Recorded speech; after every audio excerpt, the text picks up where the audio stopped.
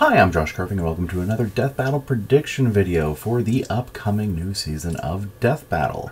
Uh, but first, we'll go over um, Vegito versus Gogeta and my general thoughts on uh, season 9.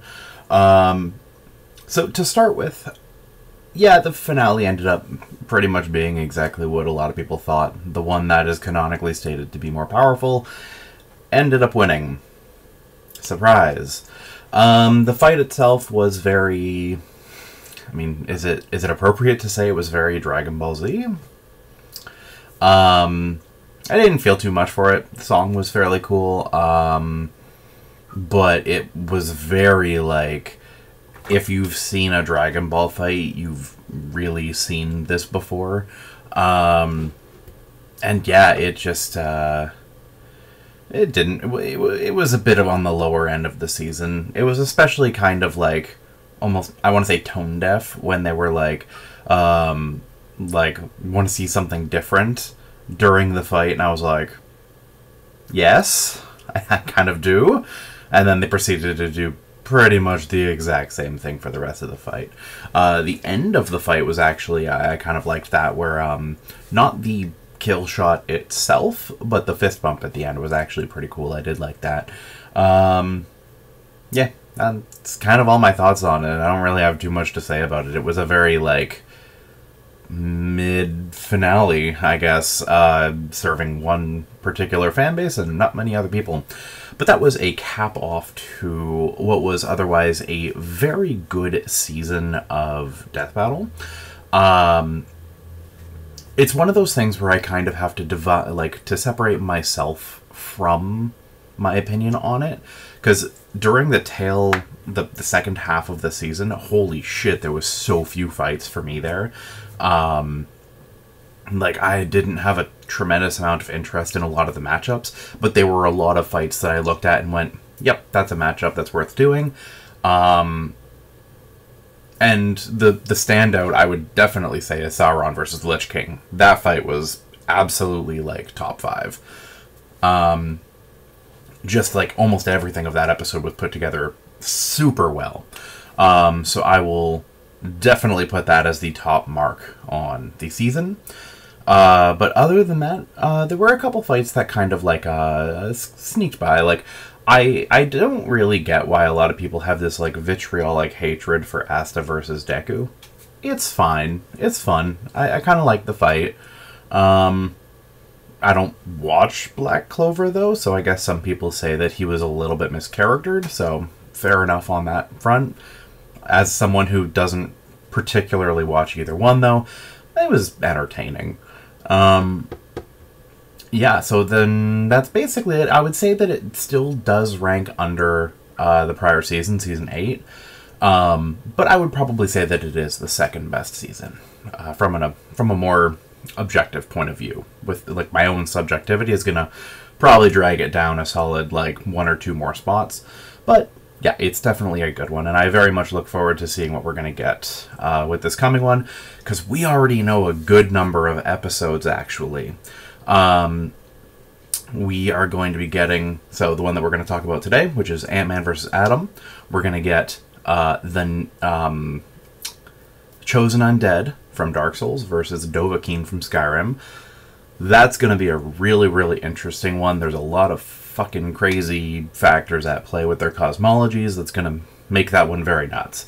Uh, then there is also um, Alex Mercer versus Cole McGrath not a particularly good big debate, but it's gonna be a good one.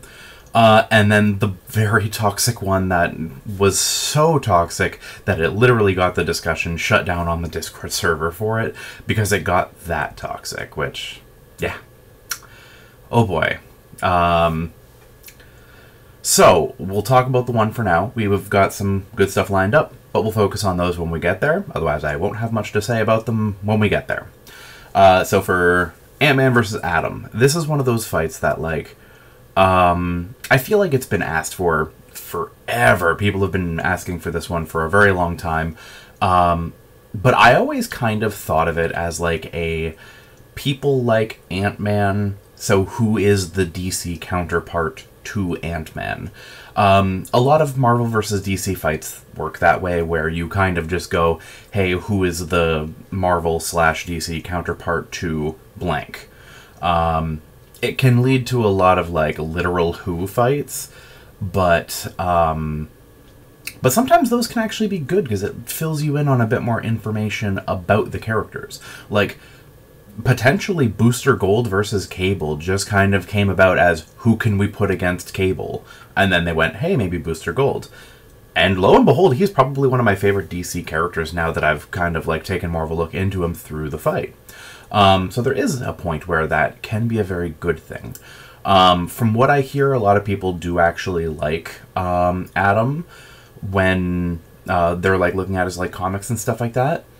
Uh, so this is going to definitely be good for uh, introducing a lot of people to the character. The main thing that I know him for is just being really, really shittily animated in uh, Injustice 2. So, not going in with the best of impressions, but uh, if I recall, he has also like recreated universes, and um, both of these two get to the point where they just shatter any idea of reasonable physics. Uh, if I recall, Ant Man has shrunk down so far that he was smaller than an idea. Okay, and Atom once avoided an attack that was uh, doing like existence erasure by shrinking down smaller than existence. So, okay, this um, from what I've seen, a lot of people put it as uh, the stats themselves are really not going to matter terribly much in this fight.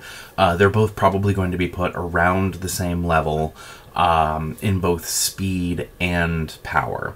Uh, so what it is going to come down to is more which one has kind of like absurdly bullshit abilities and things like that. Atom does have this like belt of like 600 tools so that he always has the perfect tool all the time, uh, which could be helpful, but it's a little bit more um, general than a specific ability that would be able to take someone down. I'm also curious throughout the comics of how many of those uh, tools have actually shown up. Like, if you could get a countdown of how many. Given how old the character actually is, I wouldn't be surprised if he's gotten almost all of them out. Um, so then we have Atom, which, or sorry, uh, Ant Man. So one of the big things with him is yes, you have your um, uh, Pym particles being able to uh, make things get bigger and smaller and empower them when they are such. Um, so to the point where uh, he can potentially have this like army of ants that are all super powerful and capable of like fighting a bunch of like uh like Thor level characters. So both of them are going to be very multiversal, but if you actually do equalize the stats, then one of them having a literal army of ants is going to be actually a pretty major factor. Um, because if they're being brought up to a level that where they can harm people on Ant Man's level, then there's no reason to specifically say that uh, Atom will be able to immediately deal with them. Uh, another big weakness that I have seen brought up is that a lot of uh, Atom's stuff is reliant on his belt. He loses a lot of capabilities if he does lose that, which that's uh, definitely a um, a weakness that Ant Man does not have. And when the fight is actually being considered this close in terms of stats, those are the kinds of weaknesses that are going to make a big difference. Um, and then now, this is one part that I truly do not understand uh, because I didn't take too deep of a dive into it, but apparently Ant Man can get up into these other conceptual universes, clusters of universes, I guess. Um, I think it was called the Over, the Overbleed or something, and and then he can go down to one uh, that's its opposite. And apparently, when Ant Man brought someone up into the the first one, they went insane within like instantly, um, and were like unable to do anything, and uh, even Ant Man himself is not immune to this effect. He just is better at resisting it.